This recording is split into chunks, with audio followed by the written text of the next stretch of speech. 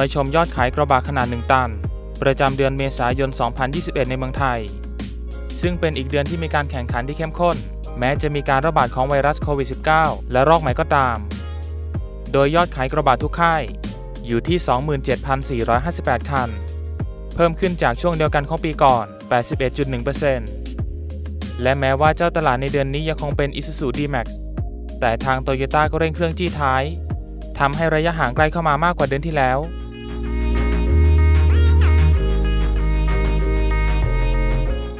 ยอดขายรถปิกอัพในเมืองไทย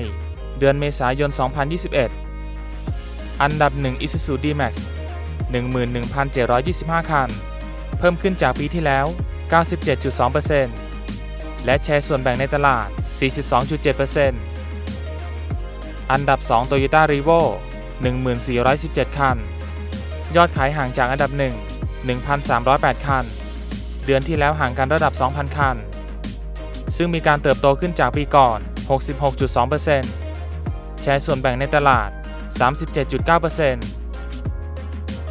อันดับ 3 ยังคงเป็น Ford Ranger 2,271 คัน เพิ่มขึ้นจากปีที่แล้ว 128.5%แชร์ส่วนแบ่งในตลาด 8.3%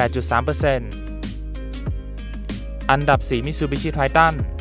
1,859 คัน เพิ่มขึ้นจากปีที่แล้ว 90.3%แชร์ส่วนแบ่งในตลาด 6.8%อันดับ5 Nissan Navara 662 คัน เพิ่มขึ้นจากปี 2020 1.7%แชร์ส่วนแบ่งในตลาด 2.4%อันดับ 6 MG Extender 474 คัน การเติบโตเพิ่มขึ้นจากปีที่แล้ว